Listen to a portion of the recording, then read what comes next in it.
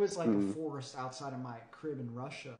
The older kids Mm. would fuck the shit out of the trees. They would climb up on the trees and they would go on the thicker branches and they would like carve out holes into the fucking branches of the trees and they would like stuff in wet rags into it. We were kids, so we would like try to summon witches and shit in the forest. There'd be like the 10, 12, 11 year old kids. They would like talk to each other, like check up on each other. Be like, yo, are you enjoying yourself over there? They'd all just be fucking going dummy on the fucking trees. Like all of them fucking the.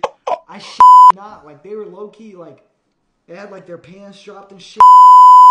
Shit out of these trees. I had no idea what they were doing. I thought I almost thought that it was like they were just like scratching themselves. Like you know how sometimes like you got you have an itch, so you like kind of put your back up to something else. I thought they were like shit. Like I gotta rub my fucking on some because it itches, and it will probably fucking feel good. It was like mm-hmm. a forest outside of my crib in Russia.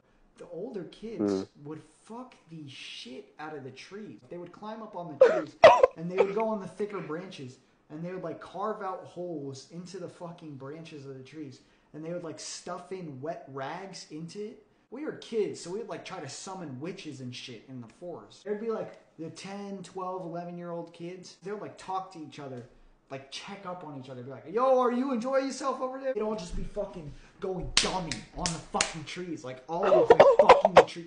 I shit not. Like they were low key, like they had like their pants dropped and shit. Shit out of these trees. I had no idea what they were doing. I thought I almost thought that it was like they were just like scratching themselves. Like you know how sometimes like you got you have an itch, so you like kind of put your back up to something else. I thought they were like shit. Like I gotta rub my fucking on some because it itches, and it will probably fucking feel good to do that.